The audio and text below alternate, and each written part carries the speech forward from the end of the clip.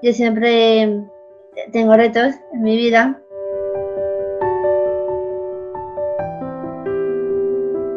Yo primero hice un ciclo de grado superior de integración social y como me gustó pues accedí a la Universidad Católica de Valencia a hacer terapia ocupacional y me gradué y estoy muy contenta. Ahora ya soy terapeuta. Y es muy bonito trabajar en, aquí en, en, Alquería, ¿no?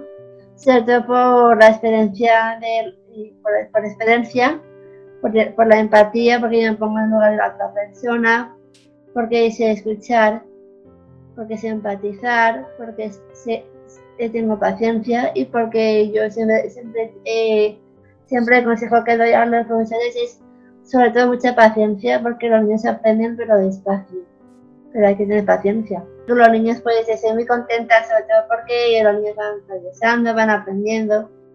Y me hace gracia, ¿no? Porque hay veces que los niños me ven y me dicen, mira, mira, y lo, he aprendido y se emocionan y yo también me emociono. Yo creo que las personas con discapacidad deberían estar en todos los partidos políticos no solo en los partidos, sino también eh, dentro de las reuniones entre la junta directiva, es donde, es donde se deciden, ¿no? donde, se, deciden las cosas y, se, hacen.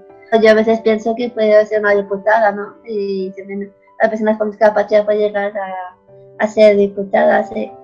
aún queda mucho por hacer. Me gustaría eh, eh, defender mis derechos y que no se vulneren que no nos traten como niños, que tenemos muchas, capacidades y que la sociedad no nos ponga eh, ni tantos prejuicios ni tantos estigmas, porque si no así no, no vamos a poder avanzar.